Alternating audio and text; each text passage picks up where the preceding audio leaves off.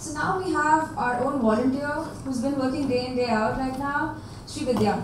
She is an open source and open data enthusiast. She's an active contributor to the community based in projects like OpenStreetMap and Wikipedia.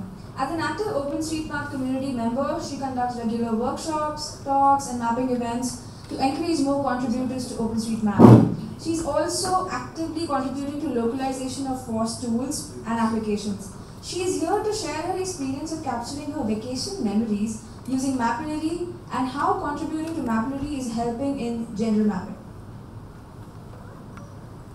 Hi, uh, my name is Srividya.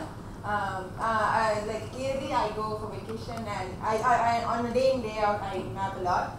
So I cannot stop myself from mapping in my vacation also. Uh, so this is how I try and map my vacation. I think everyone loves map going for vacation. So what we do usually in vacation is like we capture photos.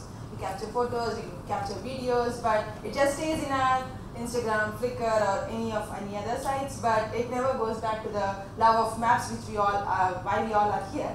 So uh, the way I do is through Mapillary. Uh, so OpenStreetMap has a longer history of uh, how to collect the data. So it was through local knowledge, then GPS, and then like we got we got satellite imagery. So there are a lot of sources, and Mapillary is another source which you can map uh, the better and granular data. Um, because something which you cannot uh, like uh, um, see satellite imagery can take you up to some level, but uh, street level imagery can take you to more granular and like actually get to see what are the points of interest and how the actually how the road goes.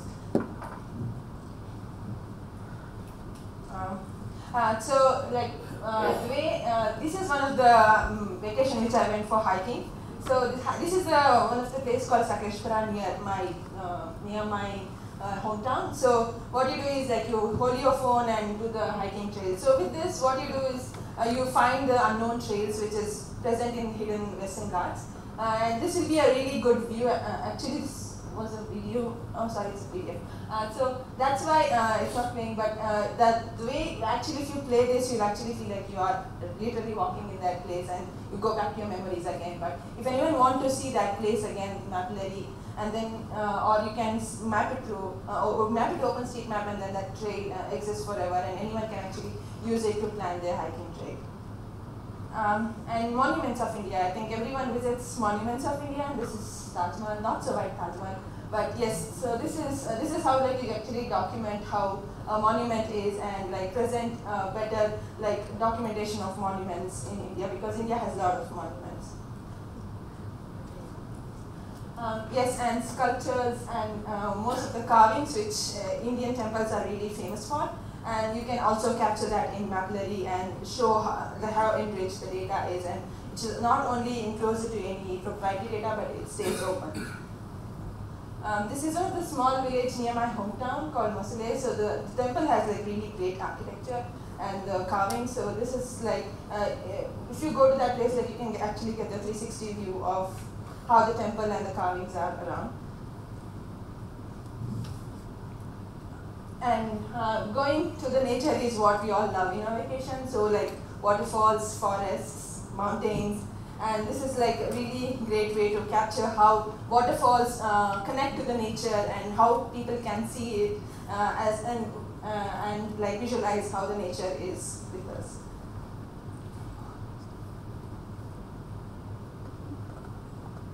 Um, uh, this is uh, another view in Assam. Uh, so our guide told that the plains over there is the plains of Bangladesh. So it's a really so like I I can literally virtually say that I saw Bangladesh too.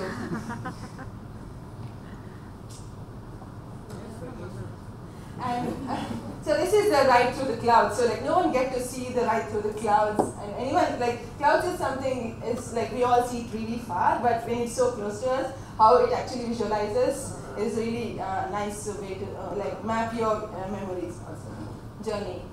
Uh, this is the Moore plains in Leh. Uh, so the so this there is this trip which everyone goes. I think Manali to Leh and Leh to Manali back, and the entire trail of like around thousand kilometers uh, is like we have tried as much as possible to capture it and show how the Himalayan mountains are standing strong.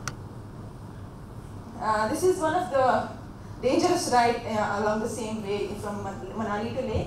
Uh, this is called Gata Loops, and uh, the Gata Loops has around 21 hairpin curves, and it's super dangerous to ride, but it was a really fun ride, and you all should actually like ride in Mapillary and see how beautiful the, the view is. Uh, this is uh, Nubra Valley, where um, uh, this is at one of the monastery in Nubra Valley, which is really remote, uh, just close to Siachen. And this is uh, this is a really great way of showing the smallest and the beautiful monasteries in uh, in the northern mountains of India, and actually uh, like documenting it for the world and showing that we have beautiful places. So the, the whole the way the whole thing of why we why I do is like I, I cannot stop mapping. So uh, when I collect all these imageries, it's not only like um, contributing to the OpenStreetMap, but also a newer way for actually uh, motivating people to contribute in one or the other way to OpenStreet or to open data, which is through through through vacations. Um, whatever happens, like we have to build a community, and whether it's through data or it's through street level imagery or anything. But uh, one other way we should keep people motivated, and this is one way I think people would love uh, keeping in touch. Happy mapping, happy vacation. Thank you, Srividya. You actually made us all want to go to the places that you visited. But you all can still go. You can go and look for the trails that Srividya's mapped in Mapillary. An advantage that you can share your vacations with everyone else as well. Thanks a lot, Srividya, for sharing your memories with us.